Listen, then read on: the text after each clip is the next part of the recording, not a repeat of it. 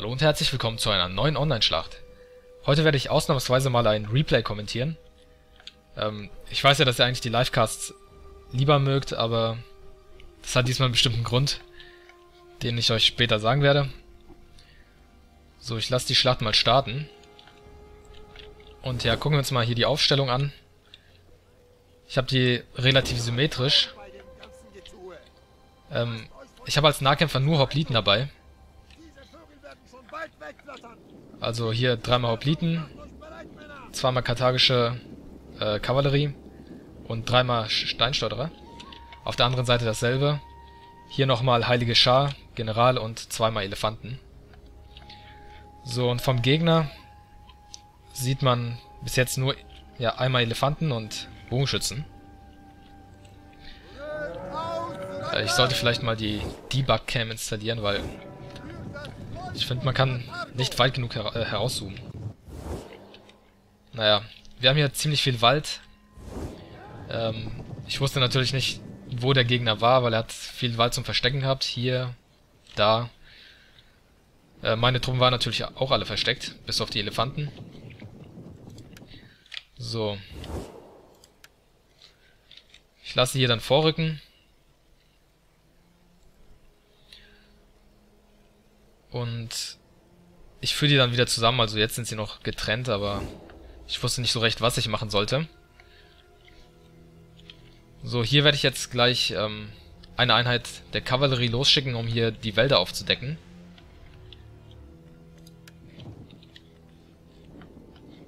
So, und der Grund, ja, warum ich jetzt ein Replay kommentiere, ist einfach nur, dass ich, ja, weil es eine ganz interessante Schlacht war. Und ich habe keine Ahnung gehabt, was der Gegner gemacht hat, also für mich war das sehr verwirrend. Äh, vielleicht hat der Wald auch ein bisschen dazu beigetragen, aber an sich, ich habe da einfach kein Konzept erkannt. Und ich weiß jetzt nicht, ob ich jetzt hier weitermachen soll oder vielleicht aus der Perspe Perspektive des Gegners. Ähm, ich glaube, ich werde jetzt mal in die Perspektive des Gegners springen. Ist wahrscheinlich auch interessanter zu sehen, also mal voll von außen, wie mein Spiel aussieht. Und ja, ja, springen wir einfach mal rüber. So, hier sehen wir die Sicht des Gegners. Ähm, und ich habe mir die Truppen bis jetzt selbst noch nicht angeguckt, also das wird ein bisschen wie blind kommentieren sein, außer dass ich die Schlacht selbst geschlagen habe. So, wir gucken mal hier an die linke Flanke, also er hat hier ähm, eigentlich zwei große, ja, ähm, sagen wir mal, seine Armee in zwei Teile aufgeteilt. Hier in der Mitte war, glaube ich, nur zur Irritation. Hat er mir jedenfalls gesagt. So, ihr seht hier, schicke ich schon meine Kavallerie los.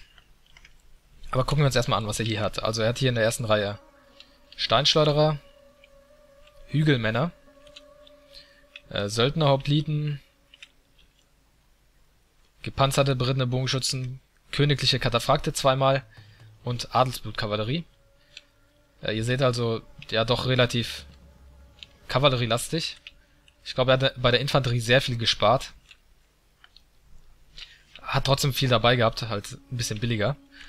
Ähm, dann hier eigentlich ähnlich. Steinschleuderer, Hügelmänner, Adelsblutkavallerie, gepanzerte berittene Bogenschützen. Ja, sogar eigentlich symmetrisch. Ja. Und ja, lassen wir mal weiterlaufen. Ähm, er wollte mir wahrscheinlich so einen Hinterhalt stellen, das habe ich mir eigentlich auch schon beim, bei der Schlacht gedacht. Deshalb schicke ich schnell eine Einheit der Kavallerie los, um die Einheiten aufzudecken. Meine Armee rückt währenddessen vor, aber das werden wir gleich sehen. So, hier werden gleich die Einheiten aufgedeckt. Wir können uns das ja hier nochmal so ansehen. Ist eigentlich eine ziemlich gute Ausstellung. Und ja, war eigentlich selbstverständlich, dass ich es nicht erkannt habe. Also verständlich jetzt auch im Nachhinein.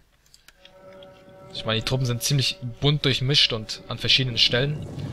So, er versucht jetzt hier meine Einheiten zurückzujagen. Damit ich seine Truppen nicht entdecke, aber das habe ich ja schon längst gemacht.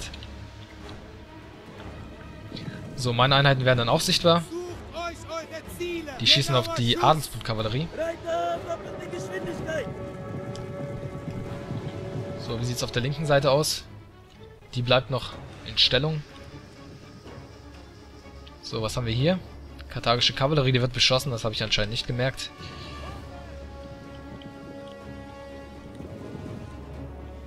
Okay, jetzt rückt er hier mit den Elefanten und den Bogenschützen vor. Ich glaube, da wollte er mich nur ködern, aber... Gegen Elefanten kämpfe ich eigentlich sehr ungerne. Ja, ich glaube jeder, aber...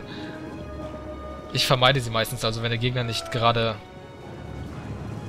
Ja, sie nicht gerade am Anfang reinwirft, knöpfe ich mir sie als letztes vor. So, hier kommen die Briten Bogenschützen. Hier rückt er mit der Armee vor.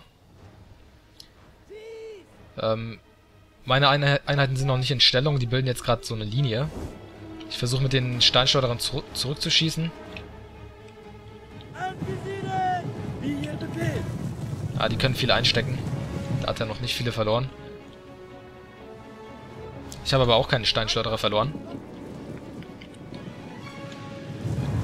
So, hier weiche ich zurück, weil, ja, er hier eine klare Übermacht hat. Überhaupt habe ich ähm, beim, beim Spielen eigentlich... War ich überrascht, wie viele Truppen er hat. Oder er hat, es hat sich jedenfalls so angefühlt. So, hier drüben verfolge ich jetzt seine Bo äh, Briten Bogenschützen mit meiner Einheit weiter. Achte dann aber nicht mehr weiter auf die.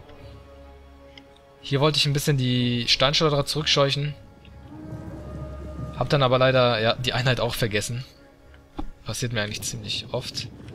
So, hier laufen leider meine Elefanten Amok. Hab leider nicht genau drauf geachtet, weshalb. Ich glaube, weil sie beschossen wurden. So, hier kann ich die Briten in Bogenschützen ein, ja, ein paar von denen halt töten. Nicht viele. Hier lasse ich sie ein bisschen stehen. Aber ich kann mich noch erinnern, dass er hier dann eine Kavallerieeinheit dahin geschickt hat, um meine Kavallerie abzufangen. Ja, hier, jetzt schickt er die königlichen Kataphrakte. Äh, hier haben wir immer noch die Elefanten. Die habe ich nicht töten lassen, weil ich habe gehofft, dass sie sich irgendwie nochmal fangen. Sie haben auch nicht allzu viel Schaden angerichtet, deshalb habe ich die da mal rumlaufen lassen. So, damit wir die Übersicht nicht verlieren. So, ach, da ist seine Einheit geflohen, das habe ich da eigentlich nicht gesehen.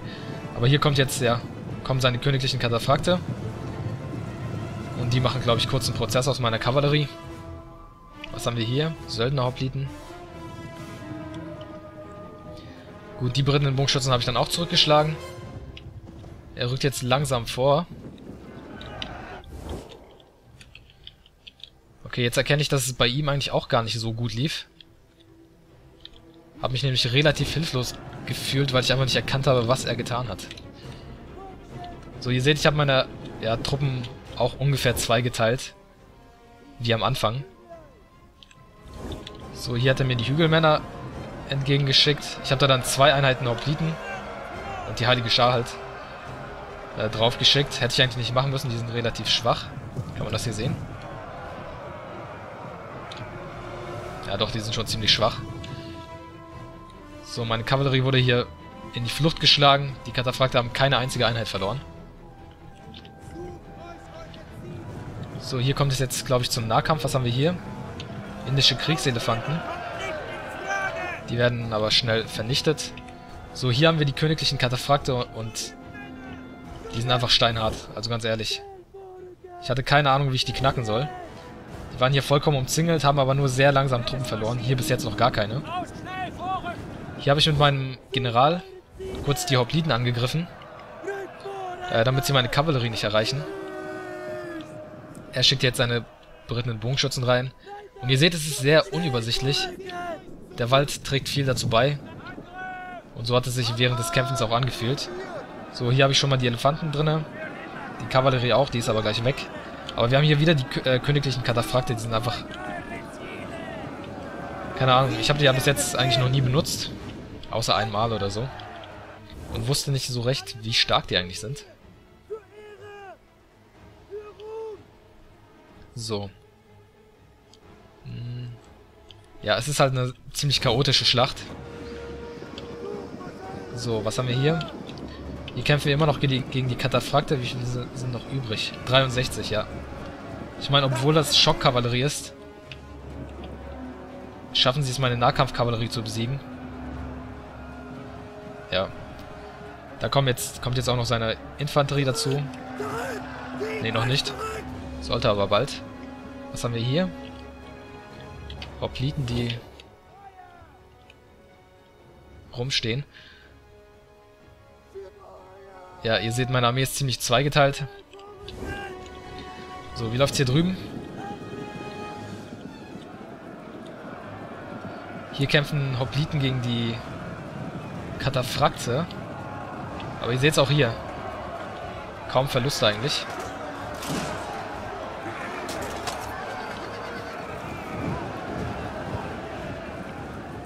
So, was haben wir hier jetzt? Ah, ich schicke jetzt hier die Heilige Schar drauf. Aber viele meiner Einheiten stehen eigentlich nur rum. Äh, ihr müsst natürlich beachten, dass die Replays nicht ganz detailgetreu sind. Ähm, aber sie stimmen ungefähr überein. Und ihr seht langsam, was für einen Verlauf die Schlacht nimmt. Also hier rechts habe ich immer gar keine Chance. Hier habe ich noch ein bisschen karthagische Kavallerie, aber hier, die königlichen Kataphrakte haben immer noch die Hälfte ihrer Truppen. So. Hier haben wir Hopliten gegen Bogenschützen. Hier haben wir auch, ja, ziemlich viele Hopliten, die fliehen. Weiß nicht. Die sind ja auch ziemlich umrundet. Da, ja, da kommen noch die Elefanten dazu.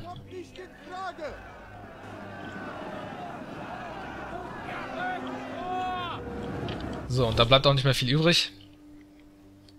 Äh, meine Einheiten sind übrigens die roten, nicht verwechseln. Ich muss hier dauernd die strategische Sicht benutzen, weil hier im Wald man erkennt einfach gar nichts. Ja, die königlichen Kataphrakte sind echt Panzer. Lassen sich einfach nicht töten, nicht mal durch Hopliten. Also normalerweise, ihr wisst ja, wie viel Vertrauen ich, meine, äh, ich meinen Hopliten schenke. Ähm, weil sie es mit jeder Kavallerie aufnehmen können oder konnten. Aber hier gegen die königlichen Kataphrakte nicht so. Die haben ja im Nahkampf auch ihre Schwerter. Ich weiß nicht, ob man das manuell umstellen muss. In Rome 1 muss man ja sie manuell ihre Keulen ziehen, ziehen lassen.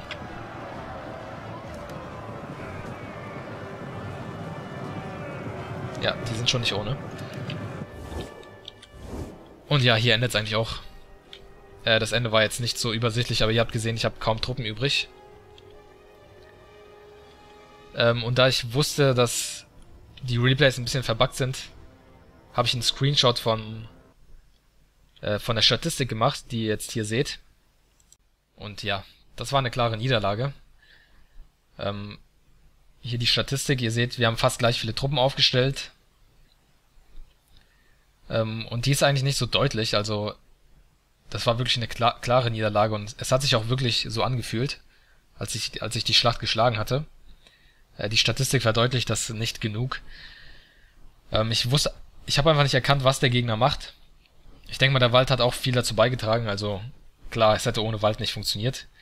Aber ja, es hat sich wirklich, schon wirklich schlimm angefühlt. Also ich hatte keine Ahnung, war ziemlich verwirrt, wusste nicht, wie ich antworten sollte. Er hatte auch hier eine ziemlich bunte Truppe gehabt, war schwer ja, zu erkennen, die Formation zu erkennen. Ich dagegen hatte halt, naja, ziemlich jetzt Standardtruppen, also er hat mir vor, vor der Schlacht schon gesagt, dass es eine interessante Schlacht werden wird, also dass er es entweder schaffen wird oder dass er wirklich ja herbe eine herbe Niederlage einstecken wird. Da war ich ein bisschen unsicher, was er denn jetzt macht. Ich habe einfach viele Hopliten mitgenommen, weil es ja gegen Parthien ist. Und ja, viele Steinschleuderer. Hat leider nur mittelmäßige Kavallerie gehabt. Hm, ich weiß nicht, ob ich da vielleicht hätte lieber, ja, stärkere Kavallerie hätte nehmen sollen. Auf jeden Fall hätte ich was gegen diese königlichen Kataphrakte gebraucht. Ihr seht, die haben hier alle im Durchschnitt so 150 Kills. Ist schon ziemlich gut. Bei vier Einheiten, das macht schon fast die Hälfte der Kills aus. Wenn nicht mehr. Hier die Adelsblut-Kavallerie auch ganz gut. Die eine Einheit hier auf jeden Fall. Die hat, glaube ich, die Steinschleuderer aufgerieben. Ansonsten die Fernkämpfer waren nicht so gut, die Infanterie auch nicht. Ich glaube, ich habe mich da ein bisschen zu sehr auf, ja, zu viel Energie in die Infanterie gesteckt. Zu viele Einheiten draufgeschickt und so. Auch von den Steinschleuderern habe ich mich ein bisschen zu sehr irritieren lassen. Die Briten in Bogenschützen waren, ja, ganz moderat. Ähm, ja, bei mir waren die Kills, sind die Kills ziemlich, ja, gleichmäßig auf die Hopliten verteilt und auf die Steinschleuderer. Eigentlich auf alle Einheiten ziemlich gut verteilt, ähm, aber halt nicht genug. Also wie gesagt, ich wusste einfach nicht, was ich machen soll. Klare Niederlage. Und ja, es hat mir Spaß gemacht zu spielen. Äh, an King Ursula, also auf YouTube heißt er nicht so, aber jetzt hier im Spiel hat er sich so genannt. Ähm, ist ein ziemlich guter Spieler. Ich habe ja schon vorher ein paar Schlachten mit ihm geschlagen. Und ja, wie gesagt, also ich bin immer für Spiele offen gegen Abonnenten und ich werde es auf jeden Fall hochladen, wenn ihr wollt, dass ich sie aufnehme. Egal, ob es jetzt eine Niederlage oder ein Sieg ist, wie ihr, wie ihr hier seht. Und ich hoffe, es hat euch trotzdem gefallen, auch wenn es jetzt ein bisschen seltsam war. Ich glaube, ich habe ich hab die Schlacht trotzdem nicht so gut ähm, ja, darstellen können. Auch, auch im Replay nicht, mit der strategischen Karte und so. Sie war halt sehr chaotisch und schwer zu erkennen. Äh, ich, ich hoffe, es hat euch trotzdem gefallen und wir sehen uns dann bei der nächsten Online-Schlacht. Bis dahin, tschüss, euer Hannibal.